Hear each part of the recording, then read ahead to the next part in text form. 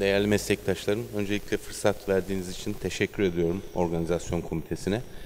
E, laparos, laparoskopik ve robotik distal pankreatektomide kanıta dayalı verileri paylaşmak istiyoruz sizle. E,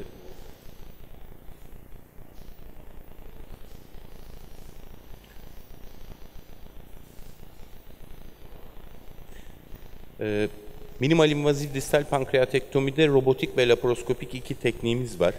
Aslında benin ve low grade malin lezyonlarla başlayan süreç e, pankreatik duktal adenom, adenokarsinom gibi malin iki ayrı bir antitede de devam ediyor. İki ayrı başlıkta değerlendiriyoruz.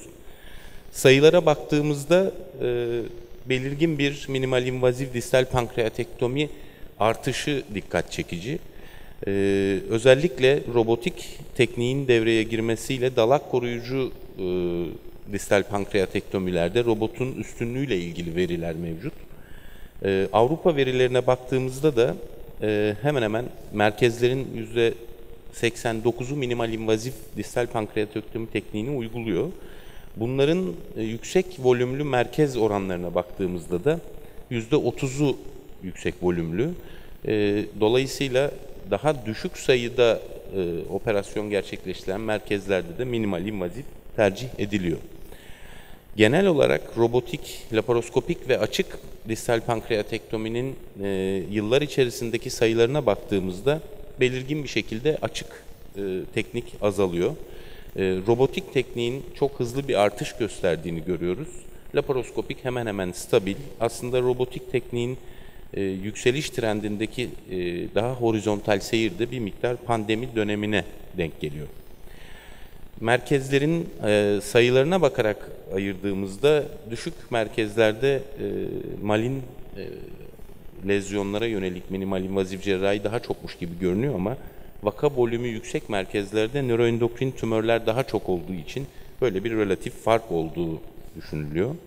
Endikasyonlarda nöroendokrin tümörler ön planda. Pankreas duktal adeno kanseri %17.8, musinöz kistik neoplazi ve IPMN'de başı çeken endikasyonlar. Genel sayılara baktığımızda %82 e, laparoskopik, %17 robotik e, dağılımı mevcut.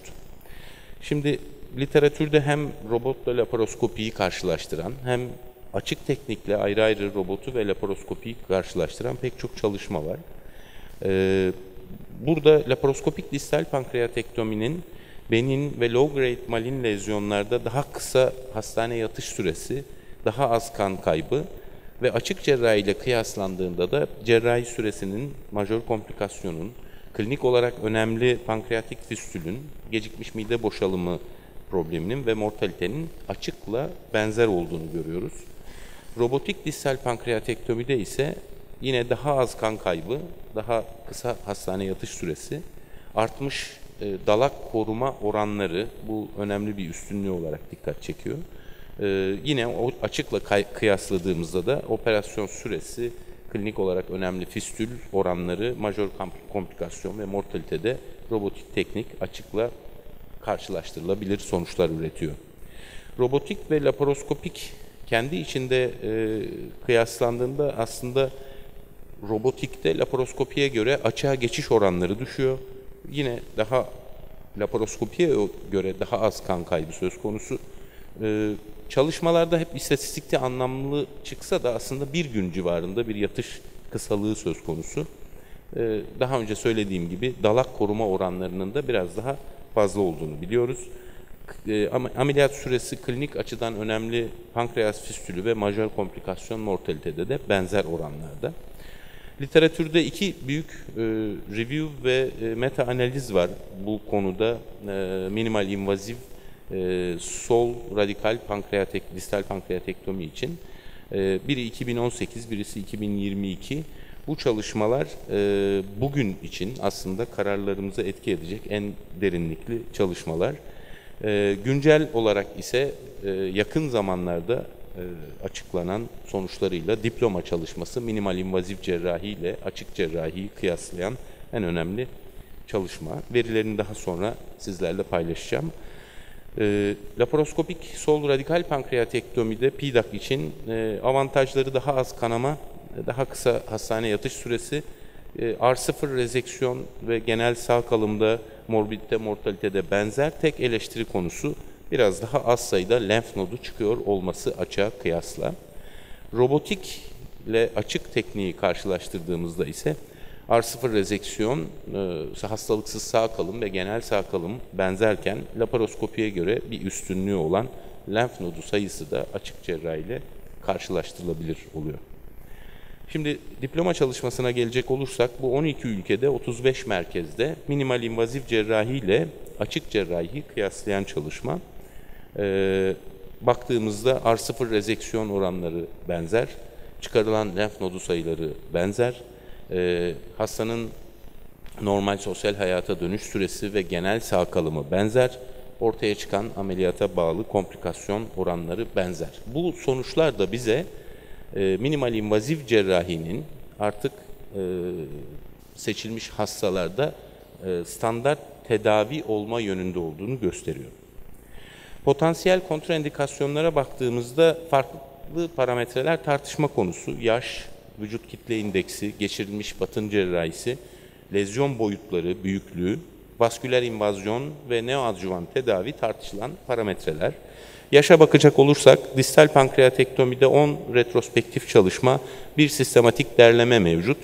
E, robotik distal pankreatektomi için herhangi bir kanıt yok. E, yaş bu eldeki mevcut verilerle tek başına bir kontraindikasyon kabul edilmiyor. Yapılabileceği gösterilmiş. Hatta bir miktar daha iyi olabildiği e, klinik açıdan önemli pankreatik fistül oranlarında bir avantaj, tekrar hastane yatışlarının daha az olması, mortalitede bir avantaj, yeniden ameliyat, reoperasyon gerekliliği ve hastane yatış sürelerinin aslında e, yaş parametresi de göz önüne alındığında minimal invazif lehine olduğu görülüyor. E, obezitede robotik distal pankreatektomide iki e, makale var.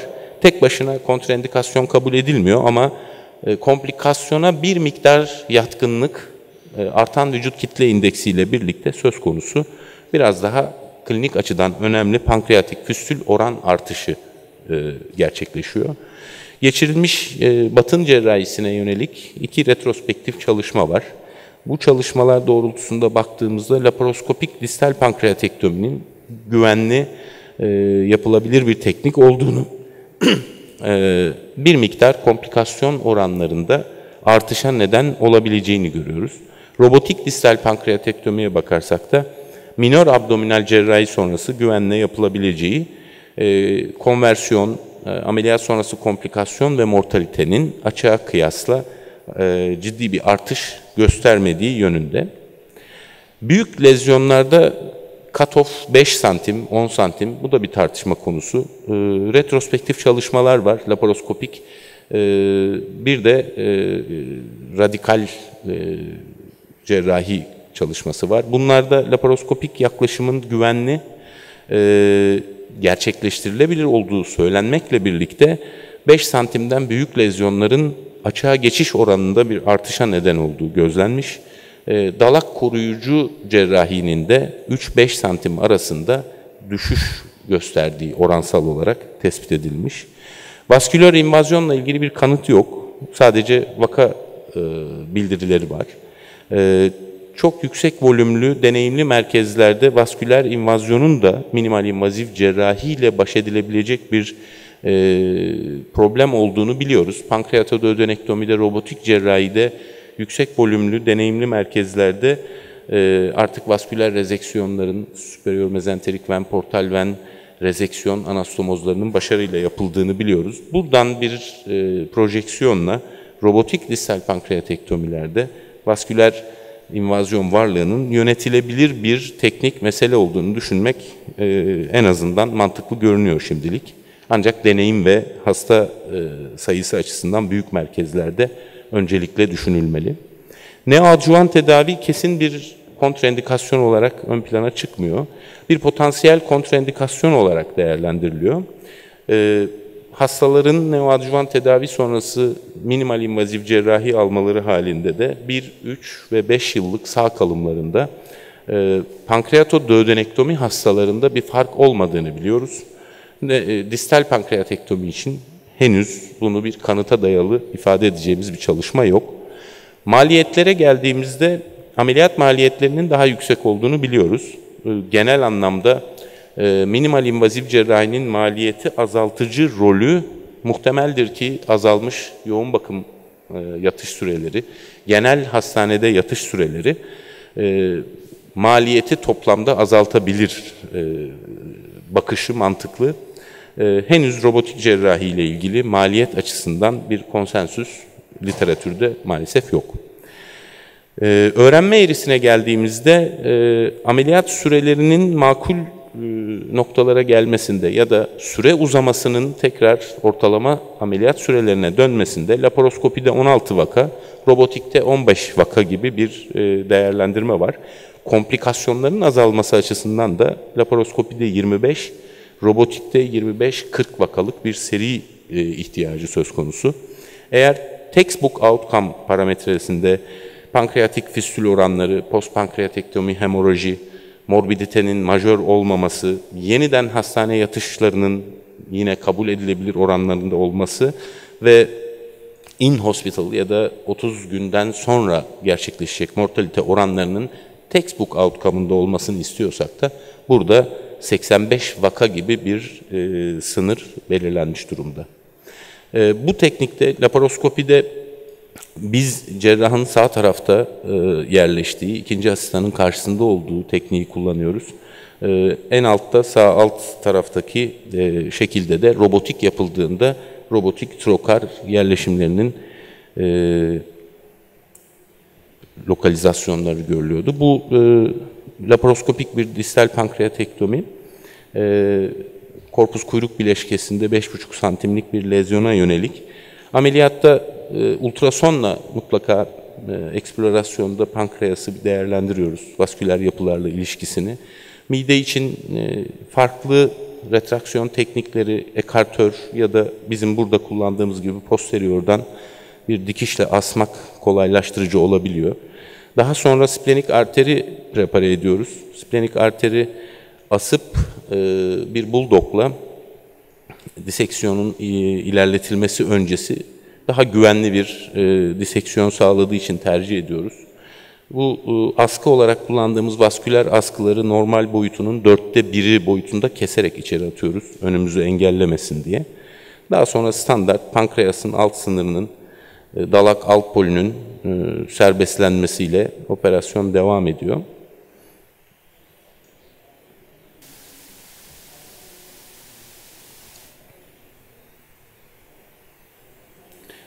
enerji cihazı olarak sıklıkla ligaşurla e, daha iyi bir hemostat sağladığı için e, ilerliyoruz. Ama ligaşurun da aslında e, kesme açısından sıcaklıkla o dokudaki yapıştırma bazen ameliyatın süresini uzatabiliyor. Uygun avasküler planlarda makasla diseksiyon mümkün. Splenik veni pankreas posteriorunda prepare ederken e, hem splenik bende hem de e, pankreasta biz asarak e, hem exposure hem de güvenlik açısından tercih ediyoruz. Asmak noktasında laparoskopinin e, hem vasküler yapıları prepare etmekte hem de e, manevraları yapmakta robota göre dezavantajlı tarafları var hiç tartışmasız. Robotta çok daha rahat diseksiyon yapabildiğiniz alanlarda laparoskopi biraz daha sorun yaratabiliyor. Vasküler e, vende kullandığımız e, vasküler askı materyalini pankreasta kullanmıyoruz. Umbilikal teyple yapıyoruz aynı işlemi. Çünkü e, pankreası vasküler teyp çok iyi e, traksiyon sağlamıyor. Bu traksiyonlarda tabii e, yeterince damar preparasyonu önemli. Prepare etmediğimiz damarın üzerinden splenik venden aşırı traksiyonda kanamaya neden olma ihtimaliniz var. Stapler kullanıyoruz ama son e, iki yıldır artık e, reinforced staplerleri siyah kartuşu hiç kullanmıyoruz neredeyse. E, pankreasın kalınlığına göre farklı vasküler stapler kartuşu seçme, yavaş yavaş stapleri sıkarak e, kapsülün yırtılmadan staplerle kapatılmasını sağlıyoruz. Veni de vasküler staplerle burada e, hemologla da kapatmak, dikiş de koymak cerrahın teknik olarak tercihine bağlı e, alternatifler. E, ven de e, arter de bağlanıp kesildikten sonra da posteriordaki e, plandan e, diseksiyon tamamlanıp daha sonra Pfannenstiel'den çıkarılıyor. Trokar yerlerini görüyorsunuz. Beşlik trokarda bir diren için e, çıkış kullanılıyor. Bu hastada bu 5,5 santimlik çap e, lezyon, invaziv karsinom e, çıkmadı. Musinöz kistik neoplazi. Lezyon büyüklüğü nedeniyle dalak korumayı düşünmedik. Ee, yine bir e, robotik e, distal pankreatektomide dalak koruyucu bir vaka bu. E, laparoskopiye göre açıkçası en temel üstünlüğü e, diseksiyon sırasında e, açı, görüş ve manevra kabiliyetinde doğal olarak robotun avantajları. E, teknik olarak aslında laparoskopi ile arasında cerraha tanıdığı imkan, e, cerrahın manevra gerekirse dikiş atma vesaire açısından laparoskopi avantajları standart ama ameliyat tekniği olarak e, laparoskopik diseksiyondan farklı bir şey yapmıyoruz. Burada splenik venin üzerinden pankreasın diseke edilmesi, kaldırılması esas e, robotta laparoskopiye göre avantaj olan kısım. Şu anda e, robotta artık e, canlı vericilik karaciğer naklinde de e, parankim diseksiyonunda kullanılan e, robotik e, harmonik skalpel biraz daha güncellendi. E, çünkü vessel sealer buralar için kalın kalıyor. Diseksiyonda e, vessel sealer'la buraları prepare etmek mümkün değil. E, kibar ve ince diseksiyonlarda hook, robotun hook'u, e, monopolar teknolojisi çok iyi gerçekten. Ama yine de e, yeni güncel e, harmonik skalpel buralarda bu diseksiyonda e, daha iyi sonuçlar verebiliyor açıkçası.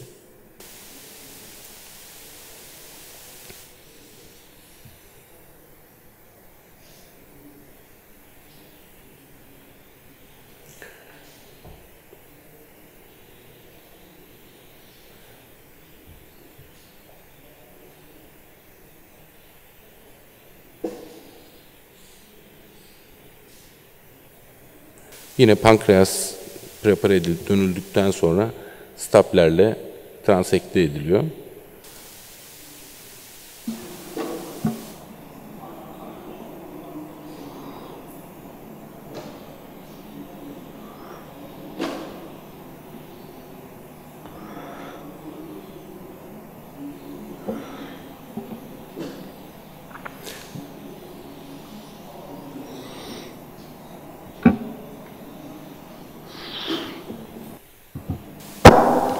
Biraz hızlanabilir miyiz Gürkan? Şey, süremizi aşmayalım da çok konuşmacımız var çünkü. Tamam.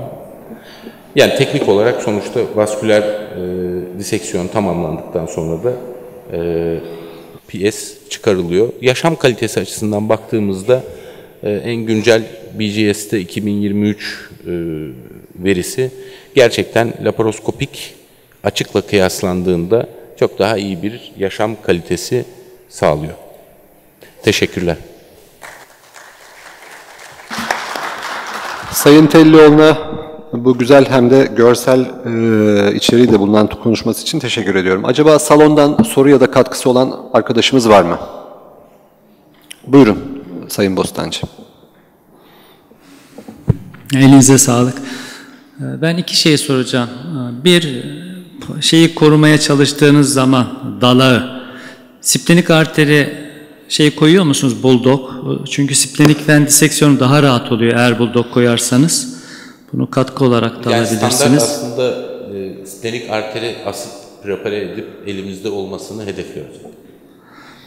Biz bulldog da kullanıyoruz. O zaman ven sönüyor ve daha rahat diseksiyon yapıp e, dallarını görebiliyorsunuz. İkincisi de mesela stapler kullanıyorsunuz ya yanılmıyorsam yeşil gördüm. Şimdi tabii pankreasın kalınlığı çok önemli. E, uygun kullanmazsanız e, pankreası patlatıyor. Evet. O yüzden mesela bunu seçimi neye göre karar veriyorsunuz? Bir, ikincisi stapler kullanımının kendisi biliyorsunuz e, kaçağı arttıran bir sebep. Stapler'ı kullandıktan sonra başka bir şey yapıyor musunuz? Bir de Koreliler mesela uzun süre yavaş yavaş kapatın diyor. Biz de yavaş kapatıyoruz. Mesela tak diye kapatmıyoruz. Biraz kapatıp bekliyoruz. İşte 2-3 dakika biraz daha kapatıp bekliyoruz. Biraz daha kapatıp bekliyoruz. Sonra kapattıktan sonra bir 3 dakika daha bekliyoruz. Onlarda da kaçak oranı az diyorlar. Bu konudaki sizin tecrübeleriniz bu neler aslında acaba? bir Hintli cerrahın çalışmasıyla başlamış bir şey. Gerçekten bence laparoskopik ya da açık fark etmez. E, distal pankreatektomide staplerin çok yavaş kapatılması, uygun kartuş seçilmesi ve biraz gerçekten sabır gerekiyor. E, 8 dakika Hint, e, Hindistan'dan cerrahın kendi hatta 10 dakika ilk e, bildirdiği 10 dakika bir cerrah için ameliyatta stapleri yavaş yavaş kapatarak beklemek bazen çok e, ömür törpüsü gibi oluyor ama bence de başarıyı arttıran en önemli şey sabırla o pankreasın yavaş yavaş kapatılması. Çok haklısınız. Eğer yanlış kartuş seçmişseniz pankreası kapatırken e, burada videolar hızlandırıldığı için e, sanki hızlı kapatılıyormuş gibi gözüküyor zamandan kazanmak adına. Ama normalde gerçekten çok yavaş yavaş e, kapatıyoruz. Eğer stapleri kapatmaya niyetlendiğiniz aşamada o hissettiriyor size stapler aslında ben bunu kapatamayacağım diye. Robotik stapleri e, daha önce bir robotik cerrahi kongresinde tartışma konusu oldu. Robotiki çok önermiyoruz aslında. Çünkü robotik stapler saniyede binlerce veri analiziyle ben bunu kapatırım kapatmam diye analiz yaparak uyarı veriyor önermesiyle bunu kullanalım deniyor ama kapatırım dediği zaman çok hızlı kapatıp kesiyor. O yüzden bizim de teknik olarak e, pankreasta kullanacaksak stapleri çok yavaş yavaş kapatıp kapattıktan sonra da aynen sizin de söylediğiniz gibi bekleyip sonra kesmek. Çünkü kapsül sadece kapsül bile yırtılsa staplerin hattının hemen kalacak taraftaki kenarlarında o bile aslında fistül riskini arttırıyor. Hele patlatırsa pankreası o zaman tabii tekrar dikişlerle müdahale etmek gerekir. Bizim Gürkan Hocam. Çok teşekkür ediyorum. Zamanımızı da değerlendirebilmek açısından teşekkür ediyoruz.